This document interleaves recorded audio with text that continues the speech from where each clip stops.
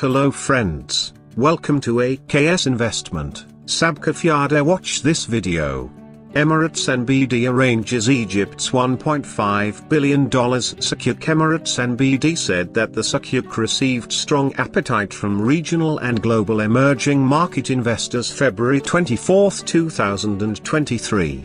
Dubai's Emirates NBD has successfully priced Egypt's $1.5 billion debut Sukuk, which was oversubscribed four times, with the order book fetching more than $6 billion. The three-year Sukuk, which was issued by the Finance Ministry through the Egyptian financial company for sovereign Taskeek, received strong demand from a regional Sharia-compliant investor base, with 59% allocation to the MENA region. Emirates NBD said the Islamic bonds also received significant appetite from global emerging market investors leading to a 62.5 basis points compression from the initial guidance of around 11.625% target to the final reoffer yield of 11%.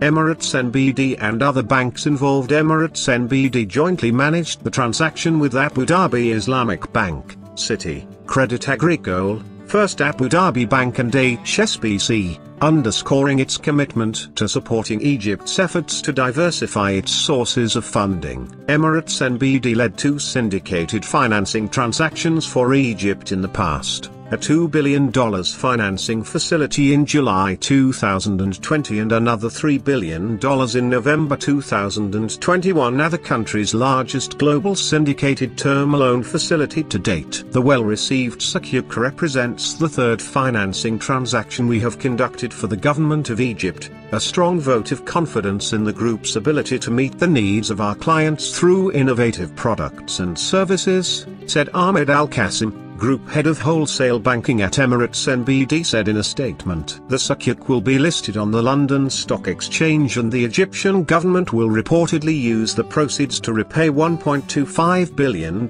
in five-year Euro bonds, which carried a fixed interest rate of 5.577% and matured on the 21st of February. Egypt, just like most emerging market economies, has seen its borrowing costs jump dramatically after global central banks led by the US Federal Reserve hiked interest rates to bring down inflation to sustainable levels. S&P Global projected that global Sukuk issuance will plunge further in 2023 to reach $150 billion after the Sukuk issuance slipped to $155.8 billion last year compared to $170.4 billion that was raised in 2021. Economic woes Egypt is grappling with its worst foreign currency crunch in years as the confluence of a geopolitical crisis in Europe Soaring commodity prices and a slowing global economy fueled the North African country's inflation to record highs. Latest data from state-run Central Agency for Mobilization and Statistics show that the country's annual inflation stood at 26.5% in January,